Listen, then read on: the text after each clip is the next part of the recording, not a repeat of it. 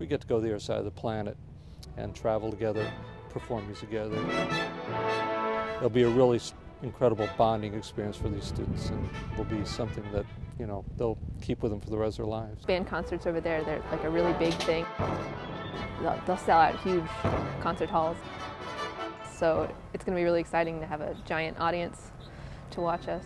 We're going to have terrific performance halls to play in, terrific concert halls, big audiences. They're excited to have us there, and we're excited to go. And it's music that they don't know and that we know well. So we're, you know, we're happy to go present it for them.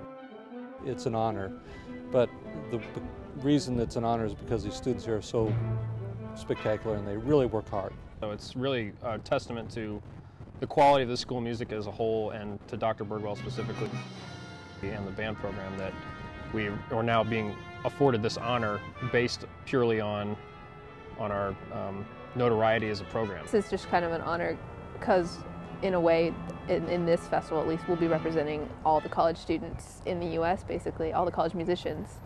So it's, I mean, I guess it's kind of like a responsibility. We're definitely going into this with the mindset that we're, you know, we're cultural ambassadors for the U.S. for the time that we're in China.